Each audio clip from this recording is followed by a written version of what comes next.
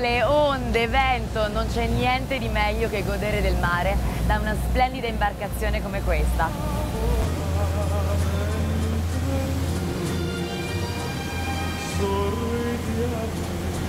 E oggi sono stata invitata dalla mia amica Giulia a passare una splendida giornata su uno yacht.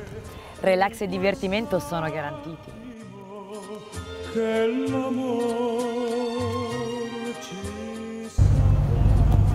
Ma buongiorno, Buongiorno. Sei pronta a trascorrere una giornata in yacht insieme? Non vedo l'ora, stavo aspettando soltanto te. Che meraviglia, guarda.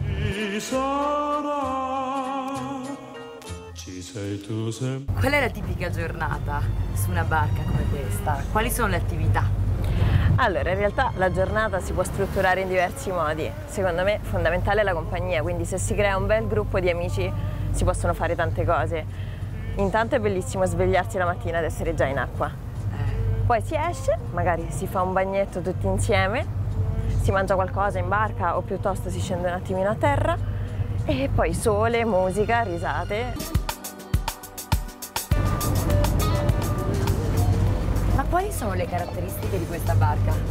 Questa barca oltre ad essere molto bella va molto veloce perché oltre ad avere un motore molto potente ha un disegno e una linea molto aerodinamica il che consente di solcare il mare ad una velocità importante.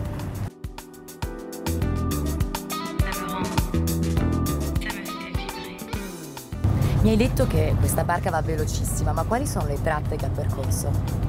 Questa barca riesce a fare tratte abbastanza importanti, ovviamente da Capri a Saint-Tropez non, non, dà assolutamente nessun problema, eh, o banalmente da Capri a Ponza piuttosto che in Sardegna, diciamo che per il Mediterraneo si muove molto rapidamente con una certa facilità.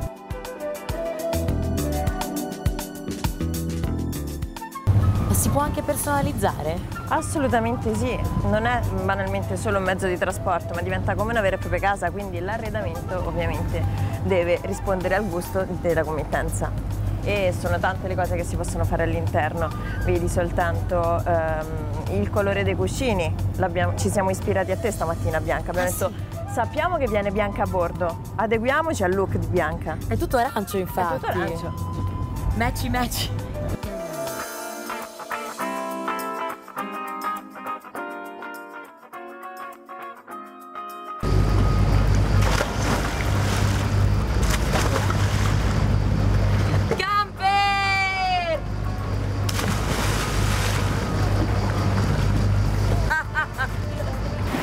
Nostro sogno d'estate in barca purtroppo è già finito. Già. Eh sì, ma prima di tornare a casa facciamo una foto per Robby e Tinto. Eh sì. Camper!